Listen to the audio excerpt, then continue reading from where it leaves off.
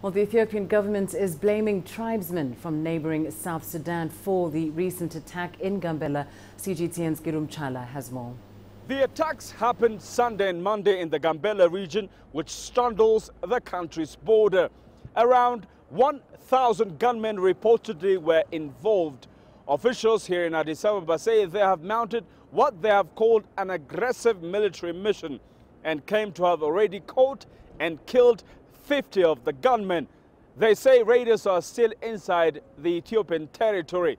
It's not the first time gunmen from South Sudan have struck Gambella. 208 people were killed in the region last year and more than 100 people kidnapped. Gambella also houses thousands of South Sudanese fleeing hunger and violence. Latest reports indicate that more than 20,000 refugees enter camps there each month. Kurumtala CGTN, Addis Ababa, Ethiopia.